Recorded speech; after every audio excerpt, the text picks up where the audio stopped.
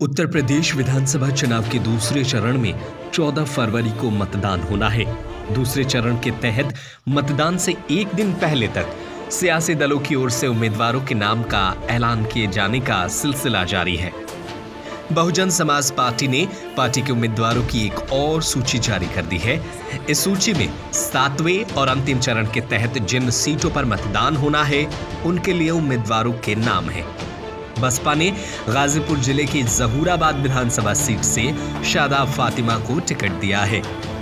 जहूराबाद विधानसभा seat से Suhel Dev Bharatiya Samaj party के राष्ट्रीय अध्यक्ष ओम प्रकाश राजभर विधायक हैं। सुभाषपा और समाजवादी पार्टी इस दफे गठबंधन करके चुनावी मैदान में है। शादाब फातिमा, शिवपाल सिंह यादव की प्रगतिशील समाजवादी पार्टी लोहिया में थी। शिवपाल यादव इस दफे खुद सपा के सिंबल पर चुनाव लड़ रहे हैं। बसपा की ओर से जारी की गई सैतालीस उम्मीदवारों की सूची में गाजीपुर के अलावा आजमगढ़, मऊ, जौनपुर, चंदौली, वाराणसी और भदोही ज़िले की विधानसभा सीटों के लिए उम्मीदवारों के नाम हैं। बसपा की इस सूची में मिर्जापुर और सोनभद्र ज़िले की विधानसभा सीटों के लिए उम्मीदवारों के नाम का भी ऐलान किया गया है। शादाब फातिमा दो बार विधायक रही हैं। शादाब फातिमा 2007 में गाजीपुर सदर सीट से सपा के टिकट पर चुनाव जीतकर विधानसभा पहुँची थी।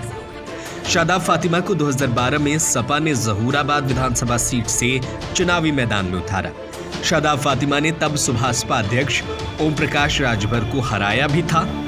शादाब फातिमा, अखिलेश यादव के नेतृत्व वाली सरकार में मंत्री भी रही, लेकिन बाद में उन्हें मंत्रिमंडल से हटा दिया गया था।